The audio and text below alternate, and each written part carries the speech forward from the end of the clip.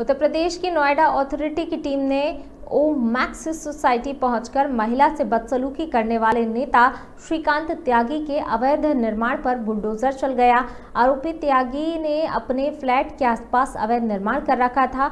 आरोप है कि खुद को बीजेपी नेता बताने वाला श्रीकांत त्यागी सोसाइटी का मेंटेनेंस चार्ज भी नहीं देता था और अथॉरिटी के नोटिस को अपने रसूख से रुकवा देता था।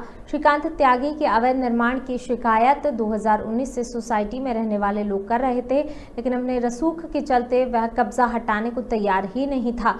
लेकिन आज जब उसका अवैध निर्माण हटाया गया तो सोसाइटी में रहने वाली महिलाओं ने तालियाँ बजाकर नोएडा अथॉरिटी की पुलिस कार्रवाई का स्वागत किया। वहीं पुलिस को आरोपी श्रीकांत त्यागी की कई लोकेशन भी मिली है। इसके साथ ही सांसद महेश शर्मा ने इस पूरे मामले को लेकर कहा कि मुझे शर्मिंदगी महसूस हो रही है।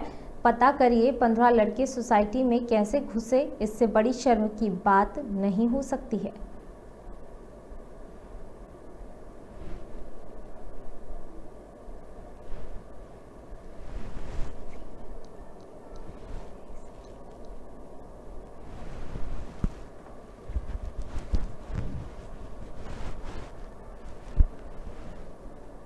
पूछिए उनके कमिश्नर से मैंने जब लव कुमार को फ़ोन किया जब रणविजय को तब यहाँ पुलिस आई है मेरे जिलाध्यक्ष हम यहाँ पर हैं। हमें शर्मिंदगी महसूस हो रही है ये कहते हुए हमारी सरकार।